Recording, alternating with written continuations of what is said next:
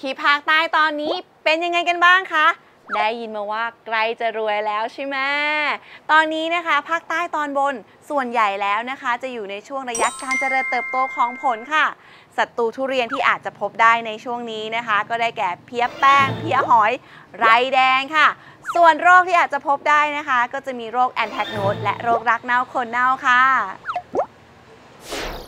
ระยะนี้เป็นระยะผลทุเรียนเติบโตเต็มที่แล้วค่ะ และเริ่มมีการสร้างเนื้อทุเรียน เพื่อที่จะหุ้มเมล็ด เกษตรกรจะเห็นความเปลี่ยนแปลงของผลทุเรียนที่มีการขยายตัว ในระยะนี้เกษตรกรควรให้น้ำแก่ต้นทุเรียนอย่างเพียงพอ และสม่ำเสมอ ต้นที่มีอายุประมาณตั้งแต่ 7-10 ปีขึ้นไป และมีระยะห่างระหว่างต้น 8-10 เมตรจำนวนผลตั้งแต่ 60 ถึง 100 ผล ควรให้น้ำประมาณ 200 ถึง 250 ลิตร ต่อต้นต่อวัน จนกว่าจะถึงระยะก่อนการเก็บเกี่ยว ทั้งนี้ก็จะขึ้นอยู่กับสภาพดินและสภาพอากาศด้วยค่ะ ช่วงเวลานี้เกษตรกรต้องระวังการทำลายของเพลี้ยหอย เพลี้ยแป้ง และไรแดงสำหรับโรคที่ต้องระวังในช่วงนี้ก็คือ โรคแอนแทรคโนสและโรครากเน่าโคนเน่า ที่เกิดจากเชื้อราไฟทอปธอราและเชื้อราฟิวซาเรียมค่ะ ถ้าระยะนี้มีฝนตก หรืออากาศมีความชื้นสูง ให้เกษตรกร ระมัดระวังการเกิดและการทำลายของโรคราสีชมพู ที่บริเวณกิ่งใหญ่ตรงกลางของต้นทุเรียน ในช่วงนี้เกษตรกรควรรีบพ่นสารป้องกันกำจัดเชื้อรา สาเหตุของโรคราสีชมพู ตามคำแนะนำของผู้เชี่ยวชาญด้านการเกษตรค่ะ เกษตรกรยังต้องหมั่นสำรวจตรวจแปลงอย่างสม่ำเสมอนะคะ เพราะอาจจะพบการทำลายของโรคพืช และแมลงศัตรูทุเรียนได้ค่ะสำหรับการให้ปุ๋ยทาเกษตรกร พึงพอใจกับขนาดของผลทุเรียนแล้ว สามารถใช้ปุ๋ยเคมีสูตร 14 9 20 หรือ 15 5 20 ได้เลยค่ะ แต่ถ้าต้องการให้ขนาดของผลทุเรียนขยายใหญ่ขึ้น สามารถเลือกใช้ปุ๋ยเคมีสูตรเสมอ เช่น 15 15 15 ในอัตรา 1.5 ถึง 2 กิโลกรัมต่อต้นสำหรับต้นเล็ก แต่ถ้าต้นใหญ่อายุ 7 ปีขึ้นไป อาจเพิ่มให้เป็น 2.5 ถึง 3 กิโลกรัมต่อต้นได้ค่ะสำหรับการพ่นอาหารเสริม เกษตรกรสามารถพ่นโปรตีน และกรดอะมิโน รวมทั้งสามารถพ่นปุ๋ยทางใบ ที่มีเปอร์เซ็นต์ตัวกลางต่ำกว่าตัวหน้าและตัวท้าย เช่น ปุ๋ยสูตรที่มีสัดส่วนของตัวหน้า ตัวกลาง ตัวท้ายเป็น 3 ต่อ 1 ต่อ 2 หรือ 2 ต่อ 1 ต่อ 3 หรือ 3 ต่อ 1 ต่อ 4 เช่น 18 6 12 นอกจากนี้เรายังสามารถใช้สูตรเสมอ เช่น 19 20 20 หรือ 20 20 20 และธาตุอาหารรอง เช่น แคลเซียมโบรอน แมกนีเซียม สังกะสี ในอัตราตามคำแนะนำการใช้สารแต่ละชนิด หรือตามคำแนะนำของนักวิชาการเกษตรค่ะ เอาล่ะ เดี๋ยวเราไปต่อกันที่ภาคใต้ตอนล่างนะคะ ในส่วนของทุเรียนสายพันธุ์หนักอย่างเช่นหมอนทองกันต่อค่ะ ช่วงนี้ได้ยินมาว่าอยู่ในช่วงระยะผลเจริญเติบโตเต็มที่แล้วอ่า ช่วงนี้ต้องทำอะไรคะ ใส่ปุ๋ยหวานเลยค่ะ สังเกตง่าย ๆ ตัวท้ายสูงค่ะ เอาละโรคที่อาจจะพบได้ในช่วงนี้นะคะ ก็จะมีโรคแอนแทกโนดและก็โรครากเน่าคนเน่าค่ะ ส่วนศัตรูทุเรียนที่อาจจะพบได้นะคะ ห้ามปล่อยไว้เด็ดขาดเลย ก็จะมีเพี้ยแป้ง เพี้ยหอยและไรแดงค่ะ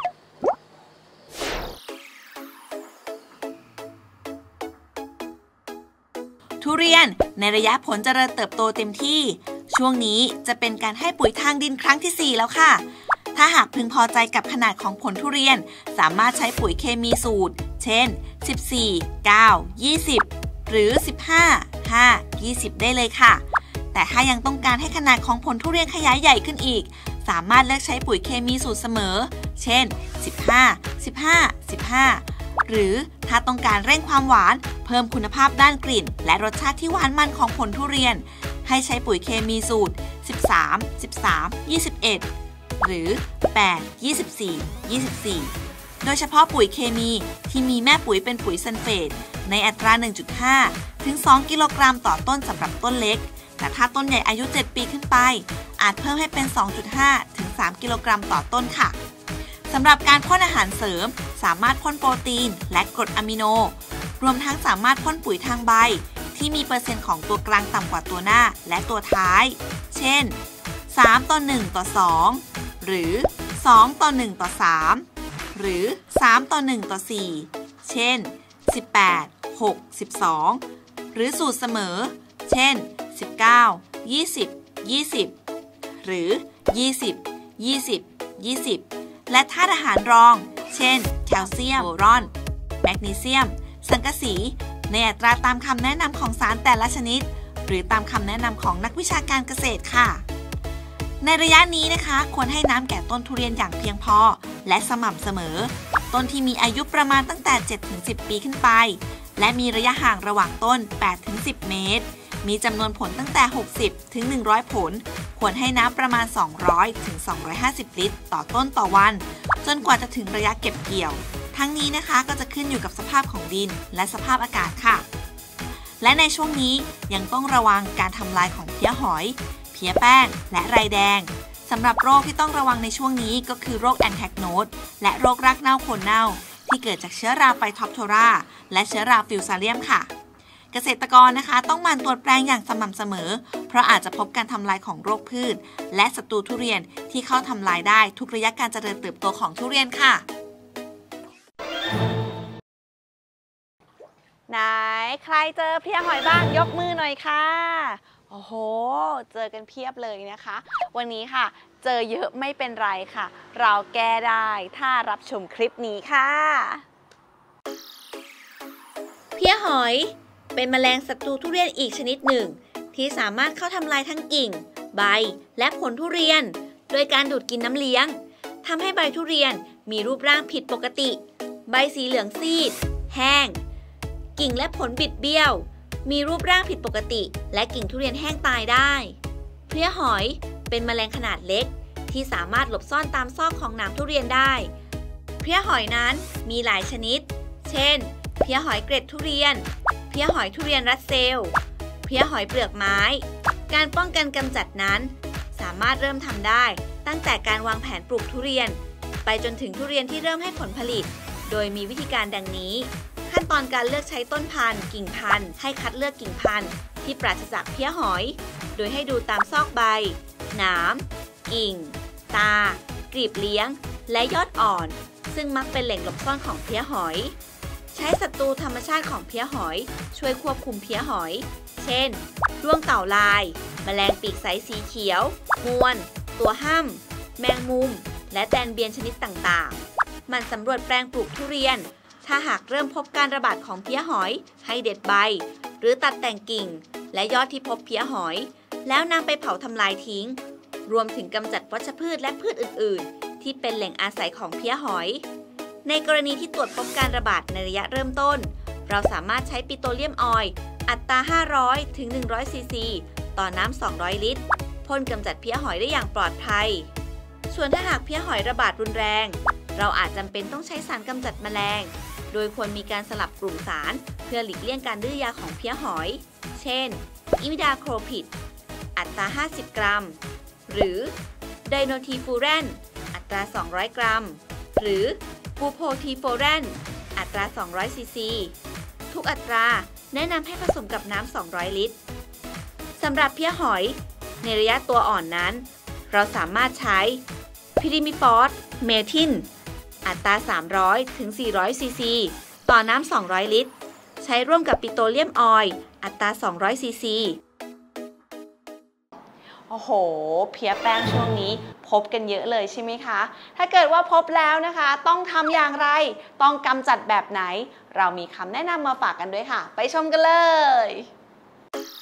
เพี้ยแป้ง เป็นแมลงศัตรูที่สำคัญของทุเรียน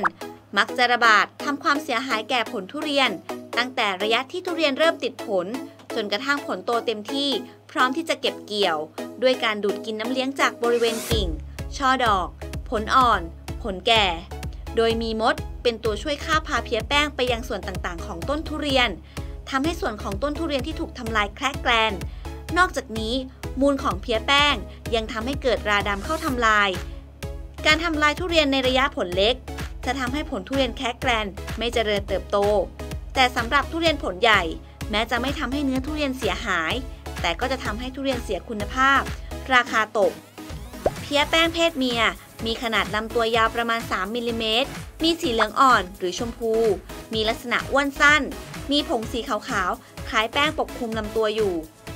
จะวางไข่เป็นกลุ่มประมาณ 100-200ฟอง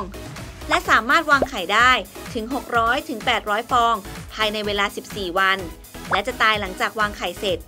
ตัวอ่อนของเพลี้ยแป้งจะมีสีเหลืองอ่อน ไม่มีผงสีขาวปกคลุม เพลี้ยแป้งสามารถขยายพันธุ์ได้ 2-3 รุ่นใน 1 ปี การป้องกันกำจัดเพลี้ยแป้งสามารถทำได้โดย ถ้าหากพบเพลี้ยแป้งบนผลทุเรียนจำนวนน้อย อาจใช้น้ำพ่นให้เพลี้ยแป้งหลุดออกไป หรืออาจพ่นด้วยน้ำผสมไวท์ออยล์หรือปิโตรเลียมออยล์อัตรา 300 ถึง 400 ซีซี ต่อน้ำ 200 ลิตร ในกรณีที่มีการระบาดของเพลี้ยแป้งอย่างรุนแรง และมีความจำเป็นต้องใช้สารกำจัดแมลง ควรใช้สารกำจัดแมลงต่างกลุ่มพ่นสลับกัน เพื่อหลีกเลี่ยงการดื้อยาได้ เช่น ไดโนทีฟูแรน อัตรา 50 ถึง 100 กรัม หรือพิริมิฟอสเมทิล อัตรา 300 ถึง 400 ซีซี อย่างใดอย่างหนึ่ง ผสมร่วมกับปิโตรเลียมออยล์อัตรา 200 ซีซี ทุกอัตราแนะนำให้ผสมกับน้ำ 200 ลิตร ช่วงนี้นะคะ โอกาสเจอรายแดงสูงมากเลยค่ะกำลังเจอกันอยู่หรือเปล่าคะ ถ้าเกิดว่าเจอแล้วนะคะแพมก็มีคำแนะนำดีๆ มาฝากกันด้วยนะคะไรแดงแอฟริกัน จะระบาดในสภาพแห้งแล้ง มีฝนทิ้งช่วง ตั้งแต่เดือนธันวาคม ถึงเดือนมกราคม และจะมีการระบาดหนักอีกครั้ง ในช่วงเดือนมีนาคม ถึงเดือนเมษายน ซึ่งเป็นช่วงแล้งจัดไรแดงแอฟริกัน ทั้งตัวอ่อนและตัวเต็มวัย จะดูดกินน้ำเลี้ยง ที่อยู่บริเวณหน้าใบ ในช่วงระยะใบเพสลาด มองเห็นเป็นคราบ คล้ายผงหรือฝุ่นละออง ซึ่งมีผลทำให้ใบทุเรียนหยุดการเจริญเติบโต ร่วงทำให้มีผลกระทบต่อการติดดอกและผลของทุเรียน การป้องกันกำจัดไรแดงแอฟริกันนั้น เราสามารถใช้ศัตรูธรรมชาติของไรแดง เพื่อควบคุมปริมาณ เช่น ไรตัวห้ำด้วงเต่า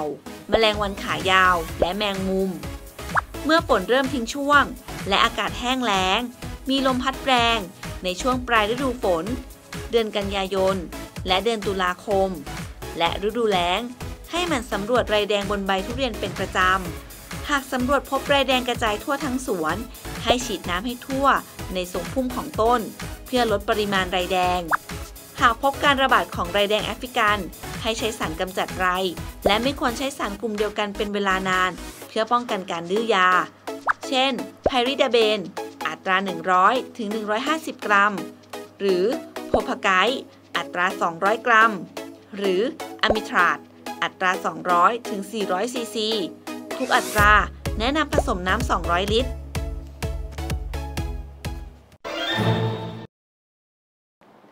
ฮันแน่กำลังเจอโรคแอนแทกโนดกันอยู่หรือเปล่าคะ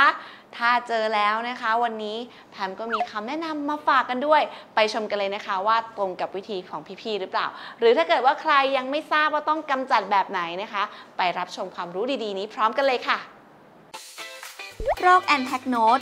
พบได้ทั้งในฤดูฝน และฤดูแล้ง มักจะแพร่ระบาดในช่วงฝนตก และอากาศมีความชื้นสูง โดยจะแพร่ระบาดจากใบและกิ่ง โดยเฉพาะอย่างยิ่ง ในช่วงทุเรียนกำลังออกดอก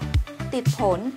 หรือในระยะดอกบาน ซึ่งทำให้ดอกทุเรียนดำและเน่าก่อนที่ดอกทุเรียนจะบานค่ะสำหรับการป้องกันกำจัดโรคแอนแทกโนดนั้น เกษตรกรควรตัดแต่งกิ่งแห้ง กิ่งที่เป็นโรค หรือกิ่งกระโดง ซึ่งมีลักษณะกิ่งชี้ฟ้า เพื่อลดการสะสมของโรค และเมื่อตัดแต่งกิ่งที่เป็นโรคแอนแทรคโนสออกไปแล้ว เกษตรกรต้องนำออกไปเผานอกแปลงปลูก เพื่อกำจัดโรคแอนแทรคโนสภายในสวนทุเรียนให้หมดไปค่ะ สำหรับการกำจัดเชื้อราแอนแทรคโนสนั้น เกษตรกรสามารถใช้ยากำจัดเชื้อราได้ เช่น คาร์เบนดาซิม อัตรา 200 ถึง 300 ซีซี ร่วมกับแมนโคเซบอัตรา 500 กรัม หรืออะซอกซีสโตรบิน อัตรา 100 ถึง 200 ซีซี หรือโพรคลอราซอัตรา 100 ซีซี หรือไดฟิโนโคนาโซลอัตรา 200 ถึง 300 ซีซี หรือไดฟิโนโคนาโซล ร่วมกับอะซอกซีสโตรบิน อัตรา 200 ซีซี โดยการใช้สารแต่ละชนิดนั้น ให้ผสมกับน้ำ 200 ลิตร ฉีดพ่นทุก 5-7 วัน ในกรณีที่มีการระบาดของโรคอย่างรุนแรง และฉีดพ่นทุก 7-10 วัน ในกรณีฉีดเพื่อป้องกันโรคค่ะ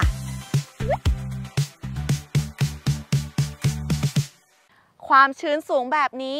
มีโอกาสเจอโรครากเน่าคนเน่าสูงเลยค่ะ เจอกันบ้างหรือเปล่าคะ ถ้าเกิดว่าช่วงนี้เริ่มที่จะเจอแล้วนะคะ ต้องรีบป้องกันเลยค่ะ จะทำยังไงนะคะ จะรักษาแบบไหน เราไปฟังคำแนะนำดีๆกันเลยค่ะ